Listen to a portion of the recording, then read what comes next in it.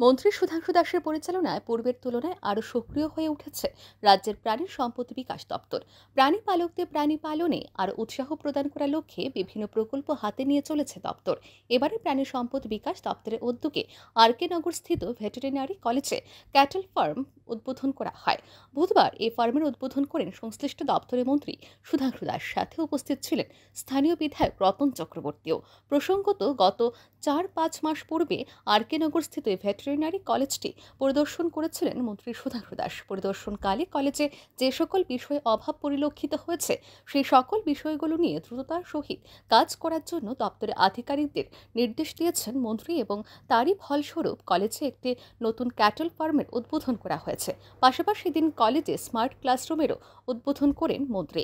এদিন সংবাদ মাধ্যমের মুখোমুখি হয়ে মন্ত্রী বলেন, আজ থেকে প্রায় চার পাঁচ মাস পূর্বেও পরিদর্শনকালে মন্ত্রীর নিকট একটি স্মার্ট ক্লাসরুমের দাবি জানিয়েছিলেন কলেজের ছাত্রছাত্রীরা এবং ছাত্রছাত্রীদের চাহিদাকে মাথায় রেখে দিন কলেজে স্মার্ট ক্লাসরুমেরও উদ্বোধন করেন মন্ত্রী।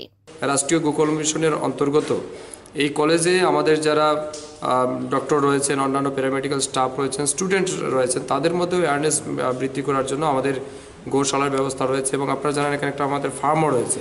তো এই ফার্ম ওয়ার্কার যারা আছে, তাদের জন্য, তাদের কাজের বৃদ্ধির জন্য আমরা এখানে একটা গোশালা তৈরি করছি। তার জন্য শেড অলরেডি নির্মাণ হয়েছে, যেটা কিছুক্ষণ আগে আমরা উদ্বোধন করছি। আগামী মাসখানেকের মধ্যে এখানে আমরা ক্যাটেলও নিয়ে আসব। এবং ক্যাটেলের জন্য মানে থাকার সুব্যবস্থা এখানে আমরা করেছি। তাদের খাওয়ার জন্য যে ফডার দরকার, এটা আপনারা দেখছেন, আমাদের চারপাশে ফডার লাগানো আছে। সেখান থেকে তারা ফিট করতে পারবে। এর বাইরে আমি যখন লাস্ট টাইম এসেছিলাম স্টুডেন্টদের একটা ডিমান্ড ছিল যে পুরো দেশের সাথে তাল মিলিয়ে উন্নত শিক্ষা ব্যবস্থার জন্য স্মার্ট ক্লাস দরকার। তো এখন সাথে সাথে আমরা এটা ইনিশিয়েটিভ নিয়েছিলাম এবং স্মার্ট ক্লাসরুম আমরা তাদেরকে প্রোভাইড করেছি, যার ইনিগ্রেশন আজকে হয়েছে আমাদের স্থানীয় বিধায়ক রতন চক্রবর্তী মহোদয়ের উপস্থিতিতে।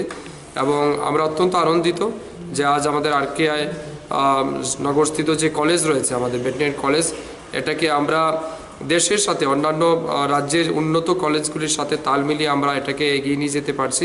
এবং আমার বিশ্বাস এগুলির মাধ্যমে আগামী দিন এখানে যারা স্টুডেন্ট যারা পড়তে আসবে, তারা অনেক বেশি ফেসিলিটেড হবেন।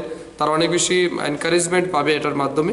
এই উদ্যোগের ফলে কলেজের ছাত্রছাত্রীরা উপকৃত হবে বলে আশা ব্যক্ত করেন মন্ত্রী। ব্যুরো রিপোর্ট আর ই নিউজ